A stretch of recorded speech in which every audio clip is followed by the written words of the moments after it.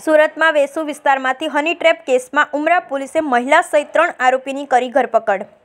સુરતમાં વિસ્તારમાં તળાવની પાસે સુડા આવાસમાં હની ટ્રેપના પ્રકરણમાં આરોપી પાસેથી ઉમરા પોલીસે મોબાઈલ કબજે કર્યો છે. મોબાઈલમાંથી સંખ્યાબદ્ધ યુવકોના વીડિયો કડંગી હાલતમાં મળ્યા. ઉમરા પોલીસે મહિલા સહિત ત્રણ આરોપીની ધરપકડ કરી. પકડાયેલ મહિલા રામલલી ઉર્ફે લક્ષ્મી સંજય સહાડે ડુમ્મસ રોડ પર સ્પા ચલાવે છે. સ્પા આવતા મોટા ઘરના નબીરાઓને વિશ્વાસમાં લઈ પોતાના ઘરે બોલાવી પોલીસના નામે હની ટ્રેપમાં ફસાવી મોટી કમાણી કરતી હોવાની વાત છે.